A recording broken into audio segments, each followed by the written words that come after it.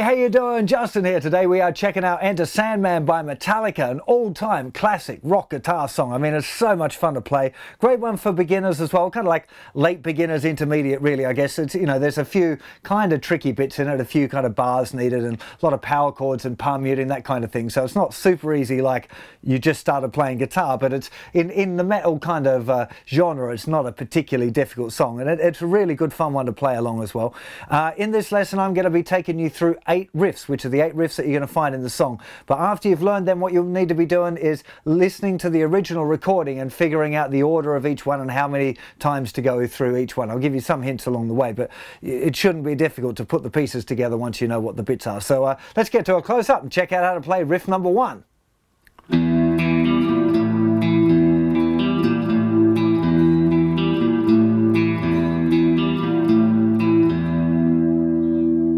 So that's riff number one. It's a clean electric guitar and I'm pretty sure there's an acoustic guitar playing it as well. Now I'm going to show you first of all the authentic James Hetfield way of playing the song, but I'll also show you a slightly easier one if you're struggling with this. Uh, I always played it the easier way, but in researching for this video I've seen uh, plenty of videos of how he does it. So to start off with, we're going to put the second finger in the fifth fret of the fourth string, and then little finger in the seventh fret of the fifth string okay so just fingers two and four to start off with, okay? So we've got the open thicker string, the seventh fret, and the fifth fret, okay? On the thickest three strings. Now the actual riff is going to play the open thicker string, then the fifth string, then the fourth string, and then third finger is going to go down and play this note here in the sixth fret of the thicker string, and then first finger will play the fifth fret on the thicker string. Okay, so we play thicker string, fifth string, fourth string, then sixth fret on the thicker string, fifth fret on the thicker string, okay? That's a little bit awkward for me. I mean, I can do it. But when I first started playing it, I was like, oh, this is a bit of a weird finger twister, really especially compared to the other way I'll show you in a second. But that's the authentic way to do it. There's plenty of video evidence of that, okay? So I would recommend learning it that way. It does sound more authentic as well, having this uh, fretted note. Now one thing to note though, it's quite important, is the rhythm, okay? So the very first note, the open string is coming on the and after four. So let me give it to you real slow as a count now. So if you're going three and four and one and two and three, four and one and two and three, four and one and two and three, four and one and two and three, four and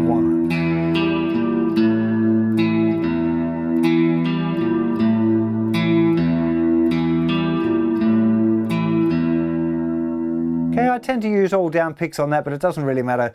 There's nothing particularly difficult in there, so you could use whatever picking you felt comfortable with. Now, I will show you this slightly easier one as well. Uh, it's basically this note here, played with the second finger, uh, is the fifth fret of the fourth string, and that same note can be played with the open G string or the open third string. So instead of having this, you can play open thickest, seventh fret on the fifth string, and then open G, open third string and then you've got fingers two and one to play that riff.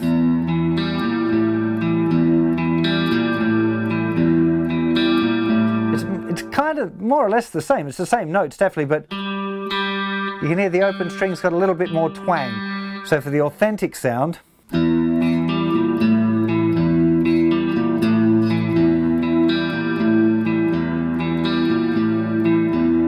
it kind of just rings out different when you're using the open string. It, it, could be on the original recording there's multiple layers and one of them is doing that because sometimes I thought uh, I could hear that note ringing out that way but you know video doesn't lie and you can definitely see James playing it that way live. So that's probably the one that you want to stick with. Another thing I'll mention quickly just on the sound, as well as having a clean sound with a bit of chorus, which I'll put some notes on the website about uh, getting that sound and using those effects, where you pick the riff makes a difference. If you pick kind of up toward the neck, the sound's quite round, whereas if you go back toward the bridge,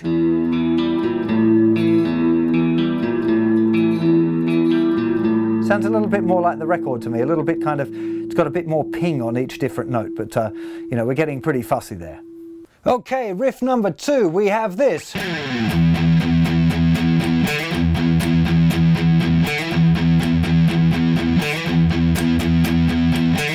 Okay, really, really simple this one. We've got eight down picks on the thickest string with palm mute. So one and two and three and four.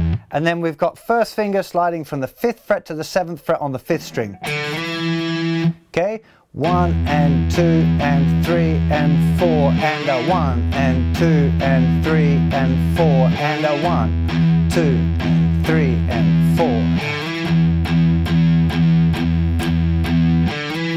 The thing that you want to be looking out for here is the amount of palm mute, because if you go too far toward the neck, you don't get any note, it's just a click.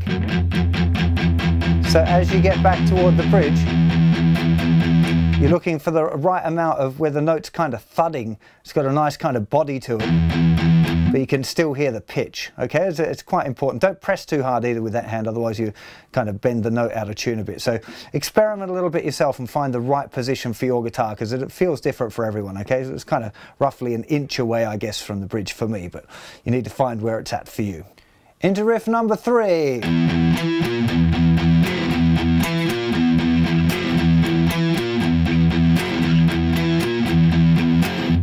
Okay, so we got here two thuds on the thickest E string, then third finger in the seventh fret of the fifth string, second finger in the sixth fret of the thickest string, then three more thuds on the thickest E, one, two, three, and then we play a little F power chord just using fingers one and three, so first finger in the first fret of the thickest string, third finger in the third fret of the fifth string, and you're going to flick first finger off right afterwards.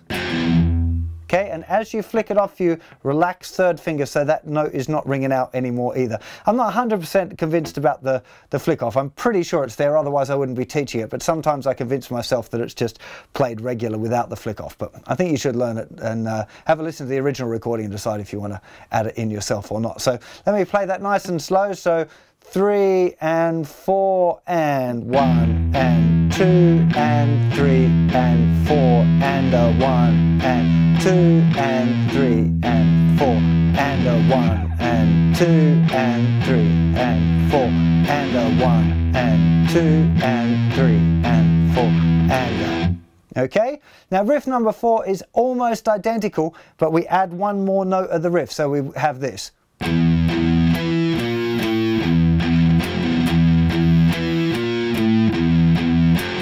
Okay, one and two and three. So now we've got first finger going down the fifth fret of the thicker string. One and two and three and four and a one and two and three and four and a one and two and three and four and a one. And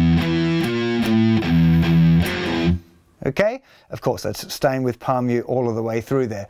Now the very last time it does that, it doesn't do the little flick off because it's going into riff number five, which starts before the end of the bar. Okay, so let me teach you riff number five first of all, and then we'll go back and I'll explain what I mean. So riff number five is this.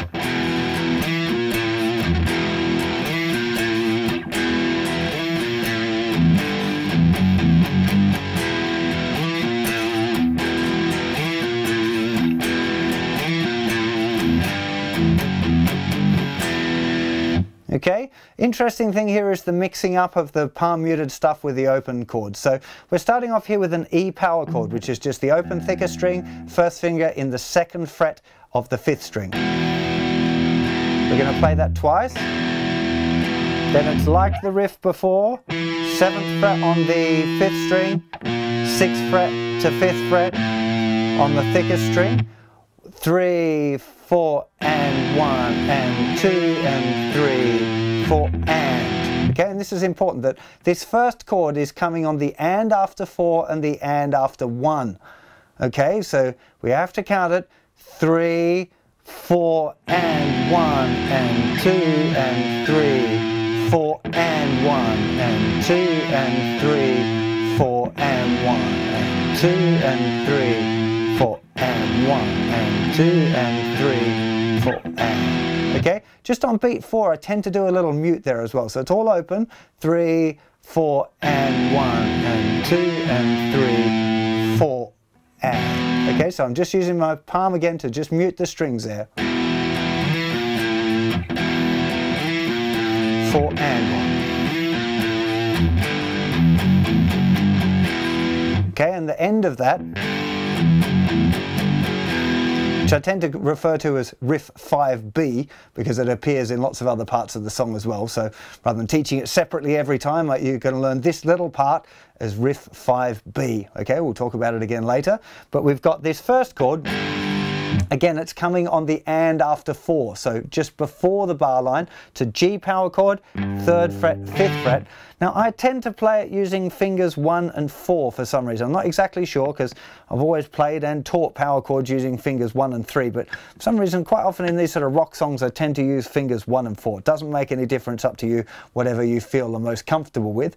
But we're going to play that chord, the G power chord.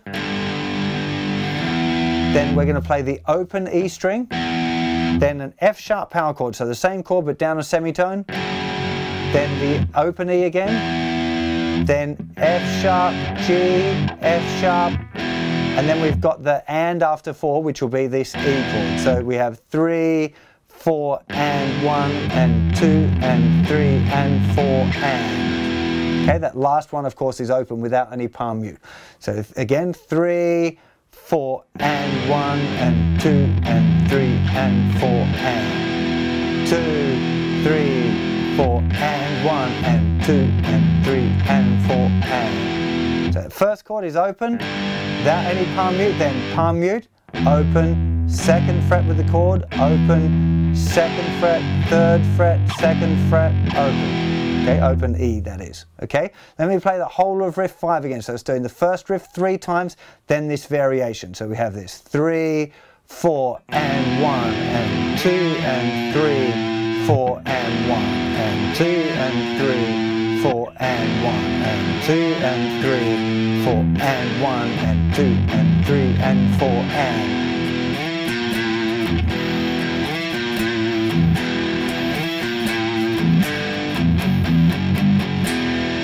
Okay, I just noticed then as well, putting a little bit of vibrato there on that last note with the first finger, the fifth fret of the thicker string.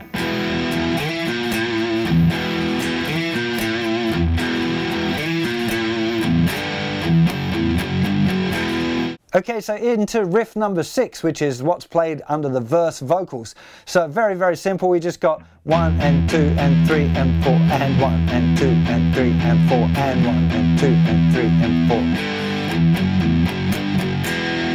so we've got three bars of a pretty much a whole bar of open E, one and two and three and four and, okay, and it's just a little F power chord again. You could use fingers one and three, I'm using one and four, it doesn't make any difference. And that's just the and after four, okay, and there's three bars of that. So one and two and three and four and one and two and three and four and one two and three and four and one and two, three.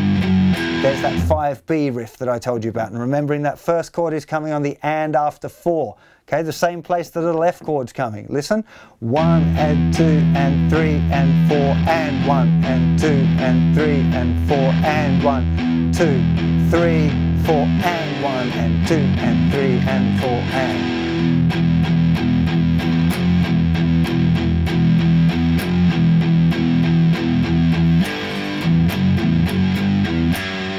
Okay, here we go into riff number seven, which is this.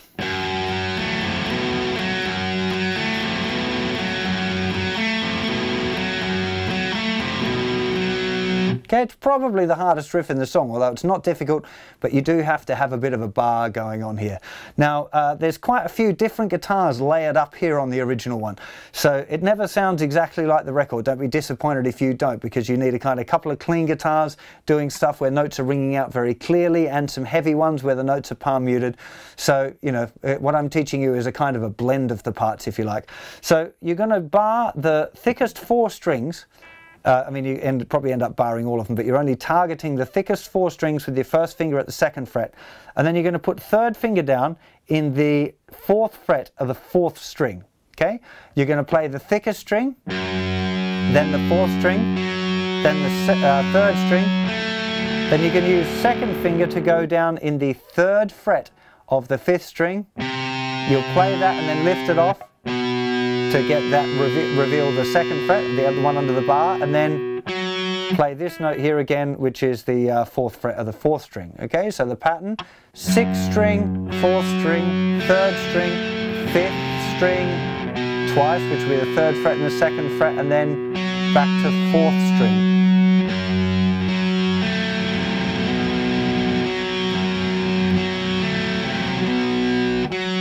Okay, now one thing that I am doing, just to be aware of, is a little bit of muting with the picking hand, in that this first few notes, I want them to ring out, but when I go here, to play this note on the fifth string, I'm actually using the edge of my thumb just to lightly touch on the thicker string.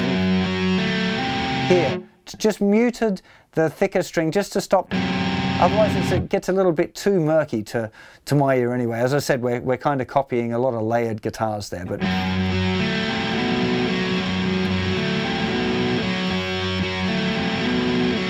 That's the kind of idea. It's not particularly difficult, but again, you know, trying to keep the right strings ringing out and with, without too much extraneous noise uh, getting involved can be a little bit tricky, but it's not a difficult one, don't be scared of it. Okay, riff number eight.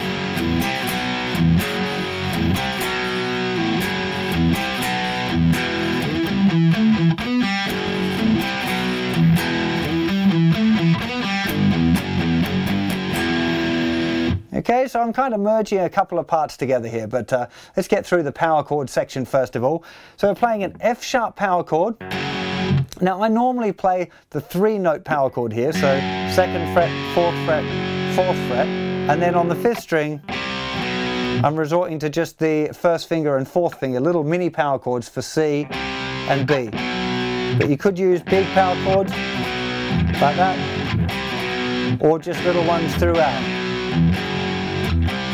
It's hard to say exactly what one's getting used because there are so many different layers of guitar uh, going on in that. So um, I'll show you how I do it and you can make up your own mind as to which variation you choose. So we've got F sharp, then it goes to the C, which is the uh, uh, third fret root on the fifth string, down a semitone to B, back to the F sharp, and again, back to the F sharp.